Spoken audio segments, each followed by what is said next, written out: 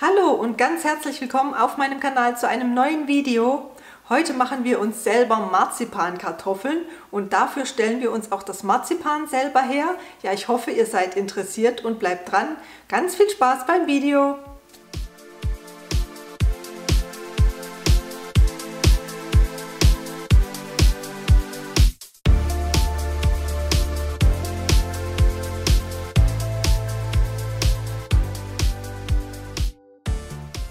Ja, das Rezept habe ich in der Rezeptwelt entdeckt und da ich Marzipan sehr mag und mir schon lange mal Marzipan selber herstellen wollte, habe ich gedacht, das probieren wir jetzt aus. Ich mache mir gleich selber die Marzipankartoffeln auch noch aus meinem selber hergestellten Marzipan und ähm, den Link dazu, den Originallink, setze ich euch wieder unten in die Infobox, genauso wie die ganzen Zutaten.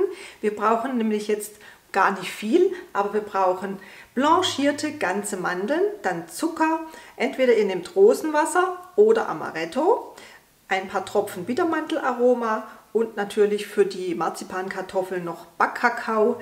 Darin werden die Kartoffeln dann am Schluss schön gewälzt und nochmal gerollt, damit sie wirklich wie Marzipankartoffeln eben aussehen. Und als erstes müssen wir uns jetzt Zucker pulverisieren. Ich nehme heute die doppelte Menge des Rezeptes, weil das Rezept ist nur mit 100 Gramm blanchierten Mandeln gemacht, aber 100 Gramm finde ich ein bisschen wenig. Wir wollen ja schon ordentlich Marzipankartoffeln haben. Deswegen verdoppel ich jetzt die ganzen Zutaten, werde nachher schauen, ob das mit den Zeiten passt. Aber das sehen wir alles gleich. Wenn ihr nicht so viele Marzipankartoffeln braucht oder selber essen wollt oder verschenken wollt, wie auch immer, dann halbiert das Ganze jetzt. Ich nehme 160 Gramm Zucker. Und wie gesagt, den pulverisiere ich mir jetzt erstmal zu Puderzucker.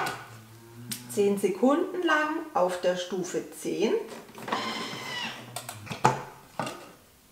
So, da haben wir den schönen Puderzucker. Den fülle ich mir gerade wieder in mein Schälchen um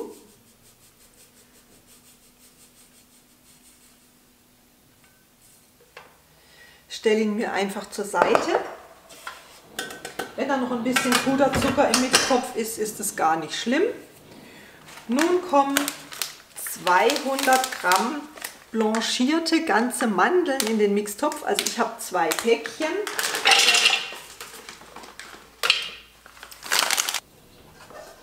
Und die werden wir jetzt ebenfalls fein mahlen, auch wieder 10 Sekunden auf der Stufe 10. So, die Mandeln sind auch schön klein. Schaut mal.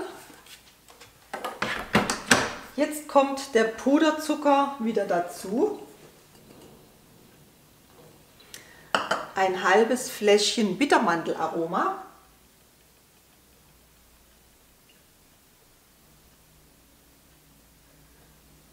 So. Ja, noch ein paar Tropfen. Ja, jetzt ist es ein halbes Fläschchen. Dann könnt ihr entweder jetzt Rosenwasser verwenden. Rosenwasser bekommt ihr zum Beispiel in der Apotheke oder ich glaube auch im türkischen Supermarkt.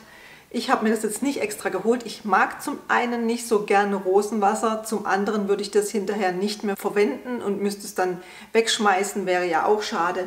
Ich nehme dafür als Ersatz einfach Amaretto. Wenn ihr jetzt auch kein Rosenwasser da habt und kein Amaretto verwenden wollt, könnt ihr jetzt auch einfach Wasser nehmen. Und davon brauchen wir so ungefähr 20 Gramm.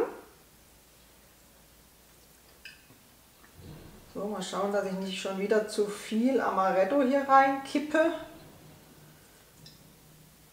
Ja, so, so ungefähr 20. Ah, diesmal habe ich es geschafft.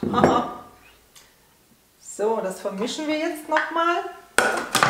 10 Sekunden auf der Stufe 9. 10 auf 9.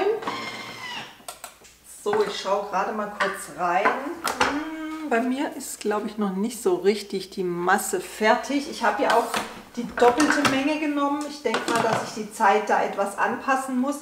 Ich mache noch mal so 5 Sekunden, vielleicht auf der Stufe 7. So, das sieht schon besser aus gerade mal schauen, ob ich vielleicht noch ein paar Tröpfchen Feuchtigkeit brauche oder ob das jetzt funktionieren würde. wenn ich es einfach mal auf die Arbeitsplatte schütte. Hm, ich glaube, das könnte funktionieren. Schaut mal, ich habe es jetzt einfach ein bisschen fest gedrückt und das werde ich jetzt einfach mal aus dem Mixtopf rausholen. Ich mache mir hier kurz Platz und kipp mir das jetzt einfach hier auf meine Arbeitsplatte. Die ist ja sauber und knete das einmal mit der Hand durch. Ja, das glaube ich könnte gut werden.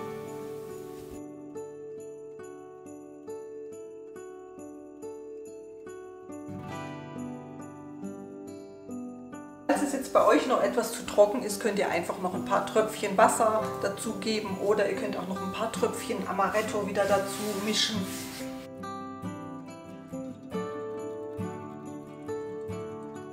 So, ich habe jetzt meine Marzipanmasse ordentlich durchgeknetet und einfach mal zu einer Kugel geformt, beziehungsweise bei mir sieht es eher wie ein Ei aus.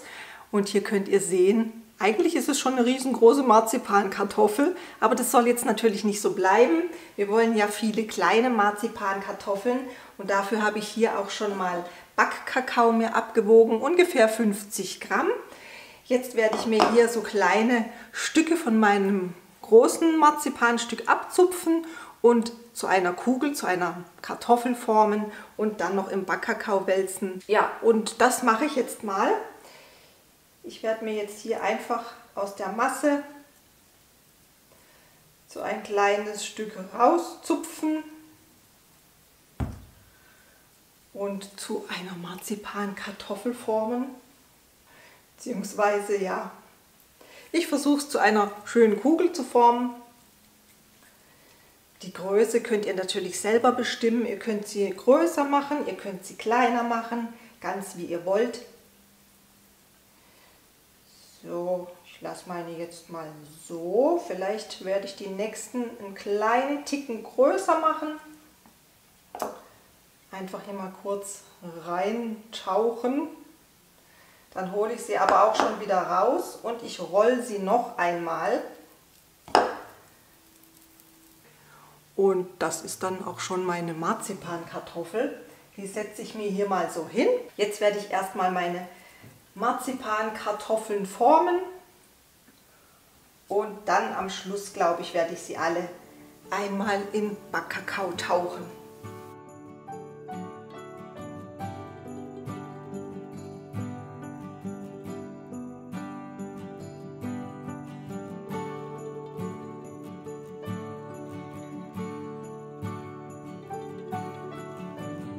So, mein Lieben, hier habe ich jetzt meine gerollten Marzipankugeln, beziehungsweise ich habe sie am Schluss gar nicht mehr so viel gerollt, sondern eher so ein bisschen zusammengedrückt. Und ich musste natürlich gerade schon von einer naschen.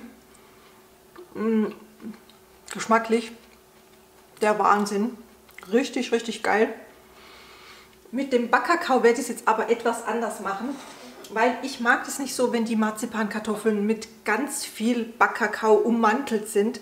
Ihr seht, ich habe mir jetzt hier einfach mit einem kleinen Sieb so eine ganz leichte Schicht von meinem Kakao auf einen Teller gemacht. Und jetzt will ich mal testen, wenn ich sie jetzt hier nur so ganz leicht rumrolle, ob das mir dann besser gefällt.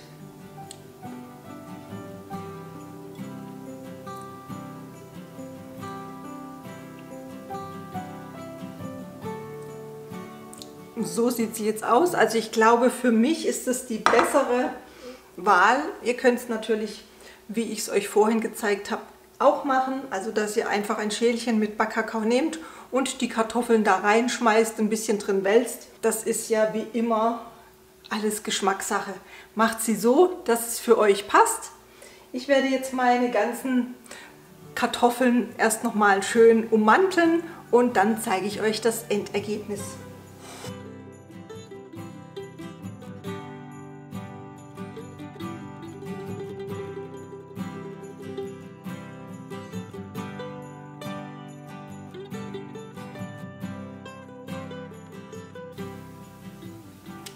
Ja, und hier sind jetzt die fertigen Marzipankartoffeln. So sehen sie aus. Ich hoffe, ihr könnt sie gut erkennen. Ich habe noch mal genascht. Also ich finde, sie schmecken tausendmal besser wie gekauftes Marzipan. Ähm, und ich vermisse das Rosenwasser überhaupt nicht. Also ich finde, es fehlt auch vom Geschmack überhaupt nicht. Ich bin aber auch kein Fan von Rosenwasser. Wenn ihr es reinmachen wollt, dann probiert es gerne aus. Vielleicht ist es ja noch was als kleine Geschenkidee für eure Lieben zu Weihnachten. Probiert sie gerne aus und lasst mir wieder gerne Feedback in den Kommentaren da. Und dann wünsche ich euch jetzt ganz viel Spaß beim Ausprobieren, beim Vernaschen, beim Verschenken. Bleibt weiterhin gesund, haltet die Ohren steif und ich freue mich, wenn wir uns im nächsten Video wiedersehen. Bis bald. Tschüss.